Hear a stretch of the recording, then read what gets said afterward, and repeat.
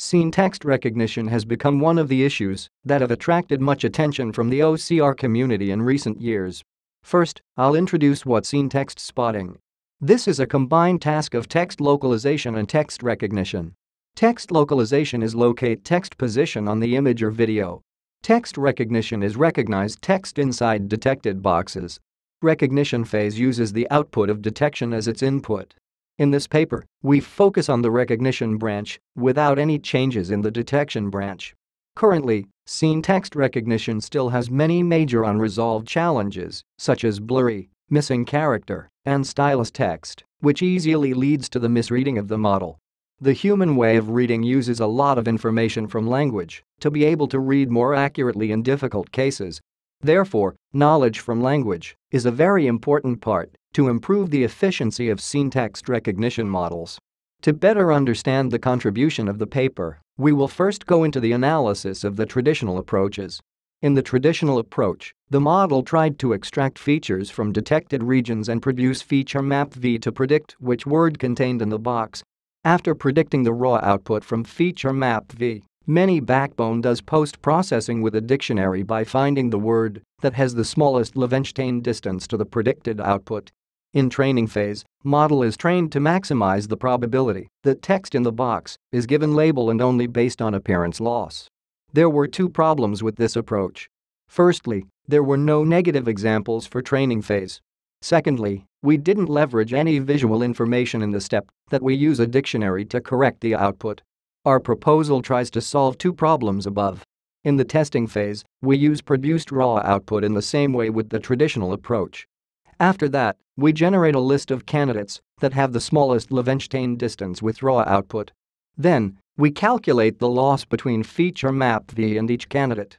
The final output is the candidate which has the smallest loss with V. In training phase, our loss have two parts. The first part is the same with appearance loss in traditional approach. Then, we generate a list of candidates from both predicted output and ground truth. From this list, we calculate the Levenshtein distance of each candidate to ground truth and form a pseudo-distribution from these distance. This distribution have high probability with ground truth and low chance for candidate that were not ground truth. We also calculate a list of losses between candidate and feature map V. From these list of losses, we formulate a distribution and the second part of our loss is KL divergence between this distribution and pseudo-distribution above. In this work, we also propose a novel Vietnamese scene text dataset called VinText. This is a large-scale Vietnamese dataset, contains 2,000 fully annotated images with about 56,000 text instances. The images collected from many source and diverse image categories our dataset not only can be used as a new benchmark to evaluate scene text spotting models, but also can become a potential dataset to try on real-world problem. The number of text instances of our dataset is really impressive when compared with previous standard English scene text dataset because text images in our dataset are really dense. According to our knowledge about Vietnamese, this language contain a lot of characters when compared with English. So we propose to convert Vietnamese word to a sequence of characters. For example, tr degrees n could be parsed to tru, o, comma, ng and accent of word.